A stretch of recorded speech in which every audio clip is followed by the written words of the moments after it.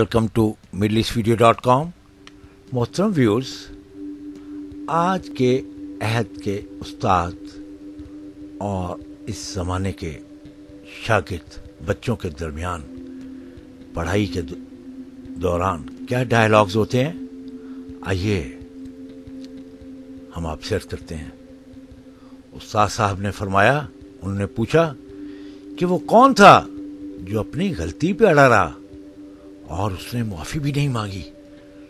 اور آج تک ذلیل ہو رہا ہے۔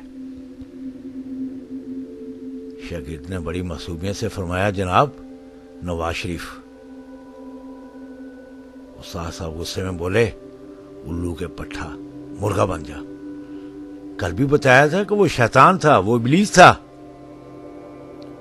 اور پھر استاد صاحبان صاحب نے دوسرے شاگرد سے پوچھا اچھا چلو تم ہی بتاؤ کہ وہ کون تھا جو رب کی رضا پہ راضی نہ ہوا اور آج تک لوگوں کو گمراہ اور ذلیل کروا رہا ہے اور ساتھ ہی خود بھی ذلیل ہو رہا ہے۔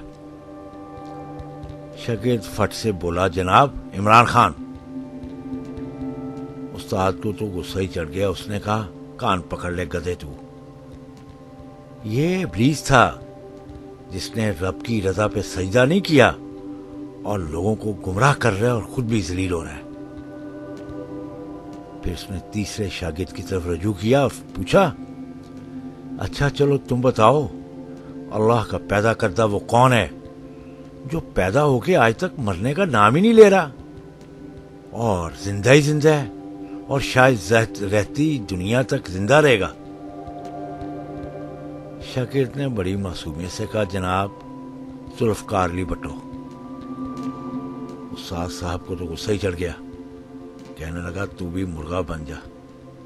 میں نے کل بھی پڑھایا تھا اور آج بھی پڑھایا، پڑھا رہا ہوں کہ وہ ابلیس تھا، ابلیس۔